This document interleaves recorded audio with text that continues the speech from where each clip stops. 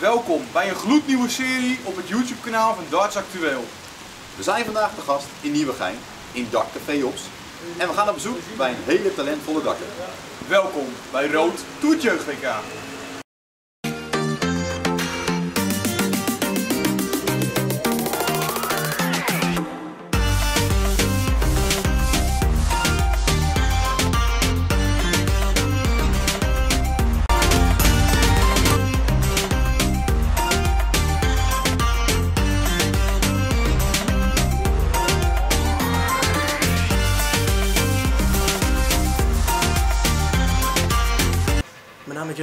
Ik kom uit Utrecht, 19 jaar.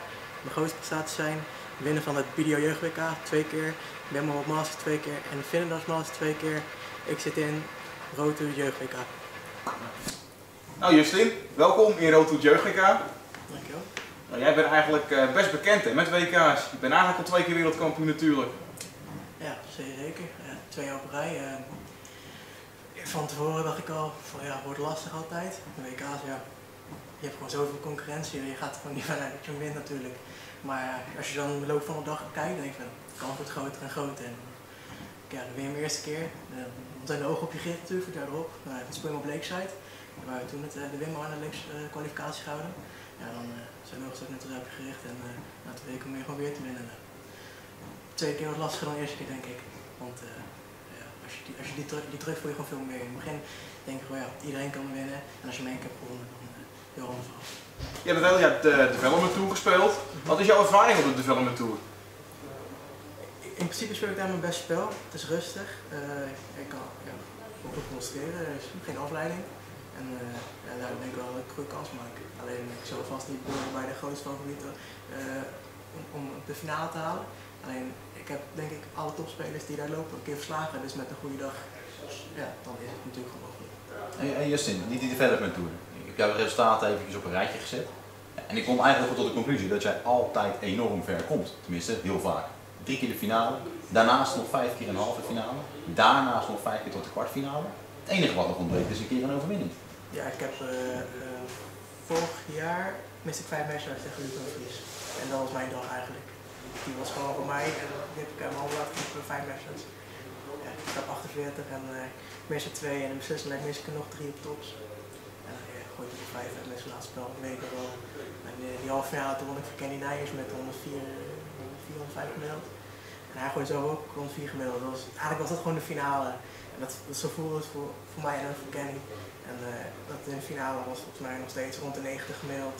En uh, Humphries gooide helemaal niet zo best, maar ik gaf het zelf weg. Dus uh, de eerste titel die, die kwam niet die dag en die is nog steeds niet gekomen. Maar die gaat nog komen.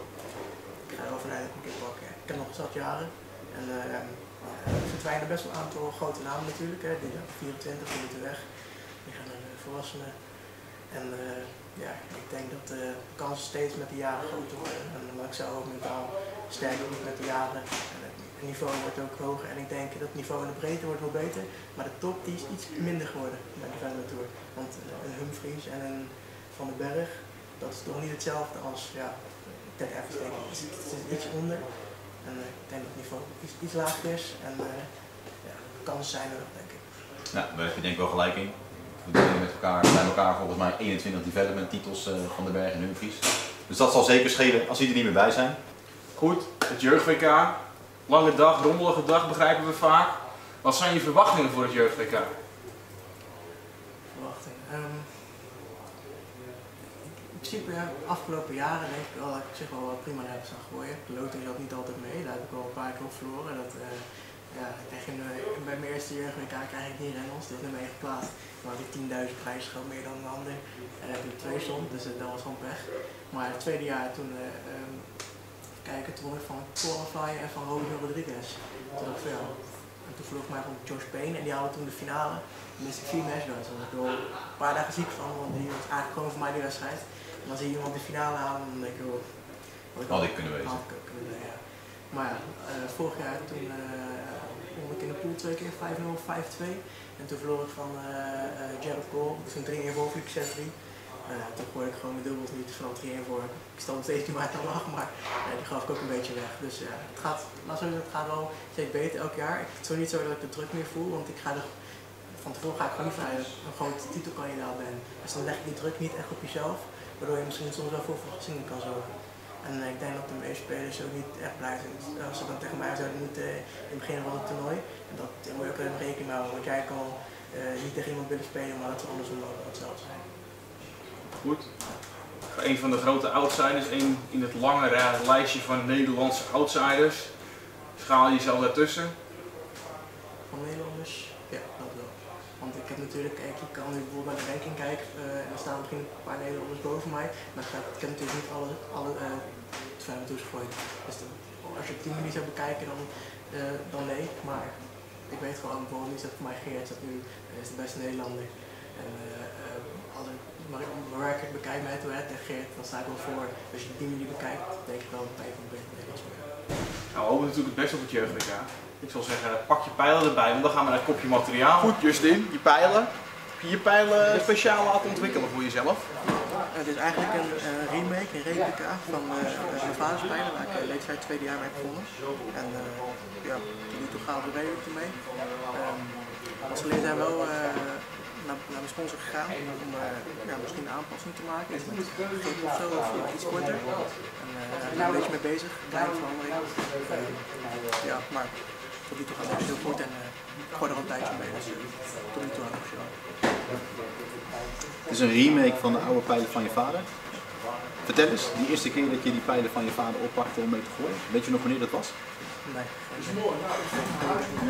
Ik heb er natuurlijk nog wel eens mee gegooid, maar uh, volgens mij ik denk een maand of zo voor mijn leeftijdsfinale toen ging ik ermee trainen. En ik voelde beter in deze pijlen. En uh, ja, toen ben ik daarmee gaan gooien. Pijlen die waren al zo oud ik kon er geen nieuwe punten doen. Dus ik kon, daar niet meer mee gooien. Dus dat hebben ze dus niet. Dus, ja gaat prima zo.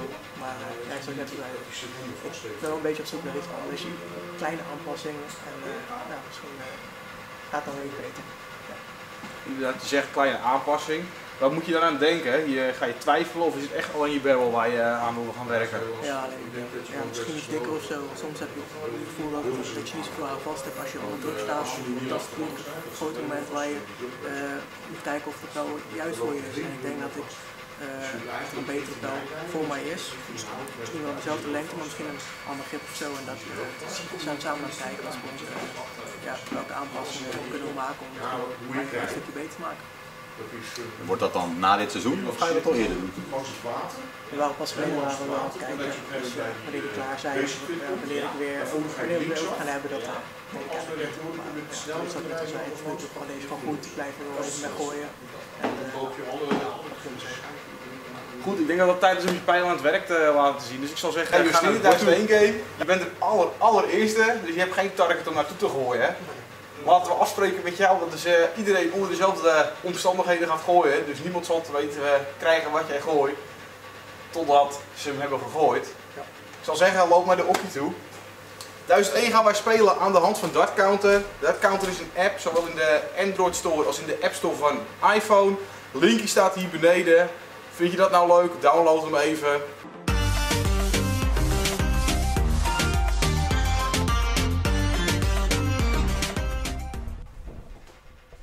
Ja, en dan is Justin van der Gouw hier begonnen aan zijn 1001 game. De voormalig twee keer wereldkampioen bij de BDO start meteen met 97. Laat meteen 902 staan en we zien meteen dat het scorebord niet helemaal meeloopt. Verder heeft hij ook nog twee keer de Final Darts Master geworden. En die pijlen vallen nog niet zo lekker na zijn blessure die hij heeft gehad. Je ziet hier een trippeltje net aan. Het gaat allemaal maar goed. Hij houdt 844 over. Scorebord loopt niet helemaal mee. Die problemen zullen we de hele wedstrijd onder gaan vinden. Pijl valt toch hoog boven de triple 20. Hij heeft vorig jaar de Belgian Masters bij de heren gewonnen. Hij versloeg daar onderweg Glenn Durant, Jim Williams en Willem Andergus. Dat zijn, niet zo, dat zijn wel grote namen om die zomaar te verslaan. Hij stond ook al een keer op de Dutch Darts Masters, waar hij in de eerste ronde nip van Christian Kist. Terwijl we hem hier erg lekker zien gooien. Gemiddelde ronde 70, het is niet slecht, het is ook niet geweldig. Pijlen vallen redelijk in het bord, toch wat wisselvallig, heeft misschien nog wel wat met die blessure te maken. En daar staat hij nu op 646. En ja, wat kunnen we eigenlijk nog meer vertellen over deze eh, jongen? Hij zit sinds, natuurlijk sinds 2018 bij de BDO bij de heren, waar ik zojuist vertelde over zijn titel.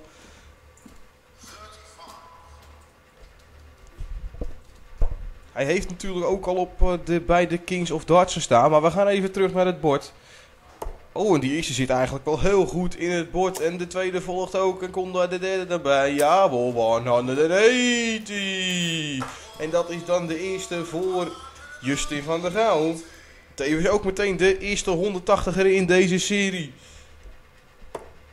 Vervolgens zien we hem toch weer triple 1 meepakken. Ja, en dan wordt het toch lastig voor Justin van der Gouw om een target neer te zetten. Dit was 43. 43 gegooid door Justin van der Gouw. Het gemiddelde gaat iets naar beneden. Zit er nog, rond, nog steeds rond de 75. Scorebord loopt een beurtje op achter. En oh, het valt toch wel niet helemaal zoals Justin wou. 96. Je ziet hem ook kijken. Had klaagde ook over koude handen terwijl hij bezig was. Je ziet hem ook af en toe iets de tijd nemen. Hier, hier rustig. En hop, en dan gaat hij weer naar het bord. En de triple zit er meteen alweer lekker in. Oh, en die, die tweede zit er net niet in.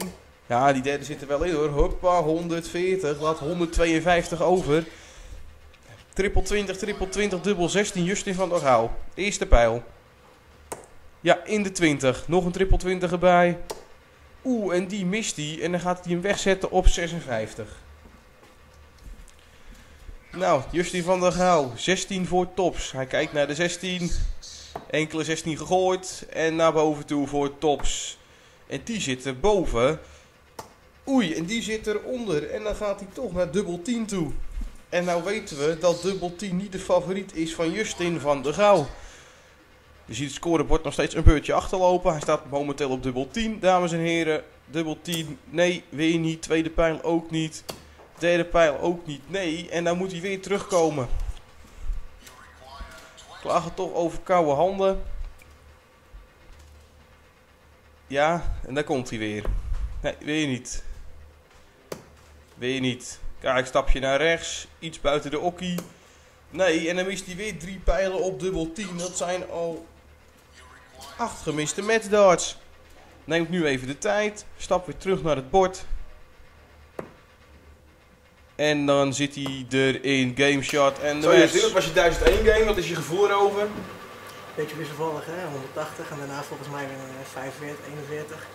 Daarna weer een 140. Beetje wisselvallig en die dubbel 10 die viel ook niet. Dus eh, ja, kon beter. Maar Goed, dubbel 10 viel niet. Even goed 44 pijlen. En dat betekent dat je momenteel nummer 1 staat op eh, de ranglijst.